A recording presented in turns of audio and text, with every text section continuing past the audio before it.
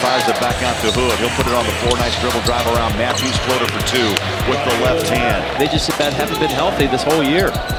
And I say healthy because you mentioned Dante. Healthy for this year. Hood. Big three. Drained it. Defenseman. You don't have to play as hard as you would man to man.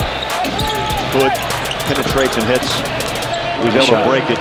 That's nine for Hood. Hood, nice wiggle. He'll pump up a shot late in the shot clock, and he is cool and calm. A cool customer, Rodney Hood. Six on the clock.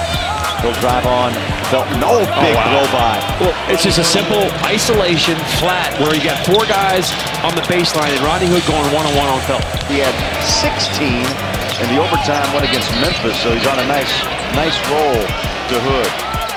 He's got three, down to two, down to one, step back Jay, got it, the horn. How good is Rodney Hood becoming? Wow. Hood, right to left hand. Drives, pops a shot, sweet. Sweet shot by Hood. There's the inbounder. Lyles is hooked up with Parsons.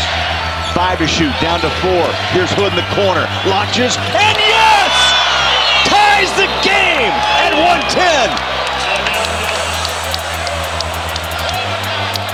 What great execution from the Jazz, and Rodney Hood is becoming a star. Trying to put Nowitzki in the pick and roll again.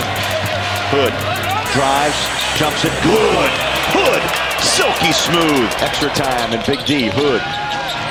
Force it with the big three. He'll turn, fire up the shot, and hit. Mavericks have no answer whatsoever for Rodney Hood. They're trying Matthews. They tried Felton. They've tried Deron Williams. Rodney Hood is able to shoot over all three of those guys. Hood working on a 30-point game.